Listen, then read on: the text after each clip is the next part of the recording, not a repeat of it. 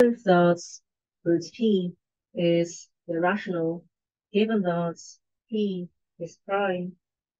We want to prove that root p is irrational. First, we assume that root p is rational, which means there exists m um, n which are positive integers such that root p equals m over n and the greatest common divisor of um, n is 1. Now square both sides and rearrange. So we can now write m squared equals pn squared from m squared equals pn squared. We can see that p divides m squared.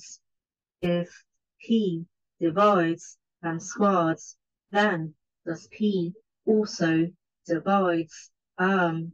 Now we'll prove that if p is prime, then p divides um.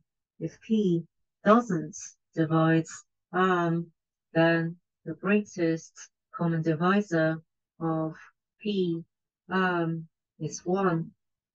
Bézout's identity if a, b are integers and the greatest common divisor of A, B is D, then there exists X, Y, which are integers such that AX plus BY equals D.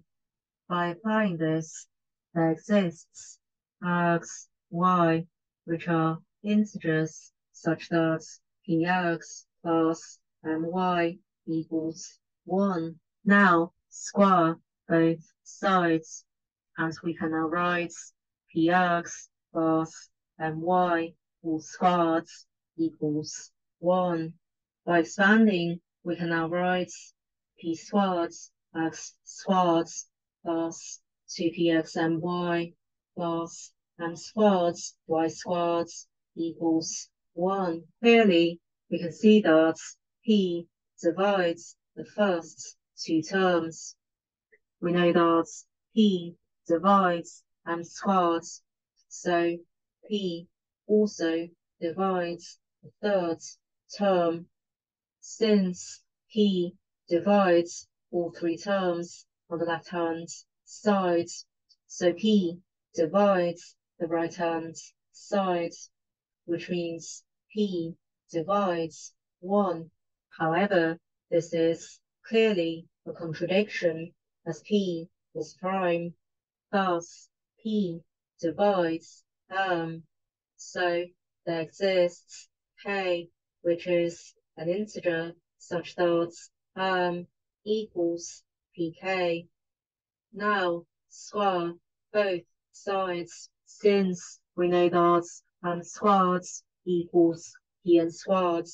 So we can now write P squared k squared equals pn squared.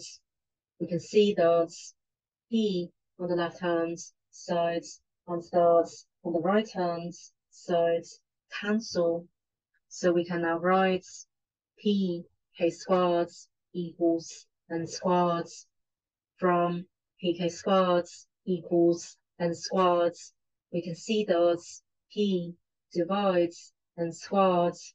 We just proved that if P divides and squares and P is prime, then P divides N as P divides M and P divides N. So this is a contradiction as the greatest common divisor of um, M, N, is 1. Hence, root p is irrational. The proof is now complete.